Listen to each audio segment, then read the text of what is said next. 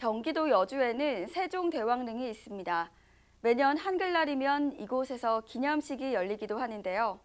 세종대왕과 한글로 특화 사업을 펼치고 있는 여주시에는 세종대왕 열차와 세종대왕 관광 순환버스는 물론 한글시장이라는 전통시장도 있습니다.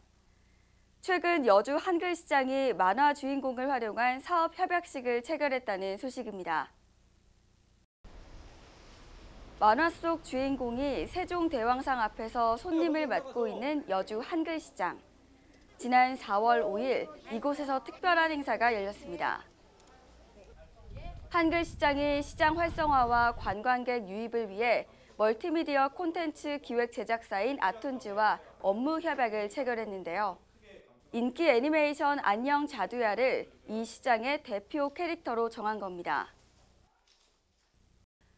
안녕 자두야는 말괄량이 최자두 가족과 친구들의 유쾌하고 따뜻한 이야기로 애니메이션 TV 채널에서 시청률 1위를 기록할 정도로 인기가 높습니다.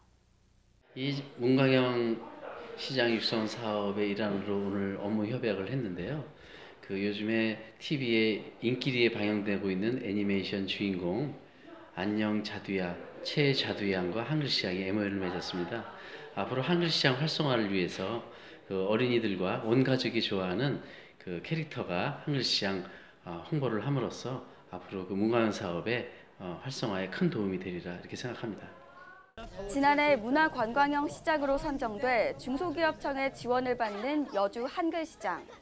앞으로 안녕 자두야 캐릭터를 활용한 홍보물 제작과 다채로운 행사를 펼칠 계획인데요.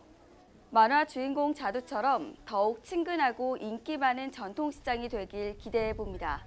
여주 한글시장으로.